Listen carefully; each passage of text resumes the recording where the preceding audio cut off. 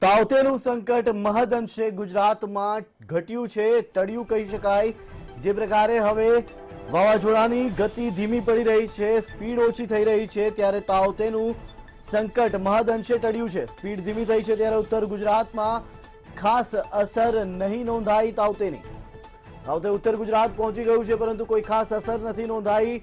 રાજસ્થાન તરફ આગળ વધી રહ્યું છે તાવતે વાવાઝોડું. જ્યારે આવતીકાલે રાજસ્થાનમાં ત્રાટકી શકે છે તાવતે. આગામી બાર કલાક હવે મહત્વના રહેશે તાવતે વાવાઝોડા માટે કારણ કે ઝડપ ઘટી છે, ત્યારે રાજસ્થાન પણ પહોંચી શકે છે. જ્યારે બીજી તરફ એમ પણ કહી શકાય કે ગુજરાતમાં જ તાવતેનું વિલીનીકરણ પણ થઈ શકે છે. તાવતે હવે ઉત્તર ગુજરાતમાં ખાસ અસર નથી જોવા મળી રહી, ત્યારે રાજસ્થાન તરફ આગળ વધી રહ્યું છે તાવતે.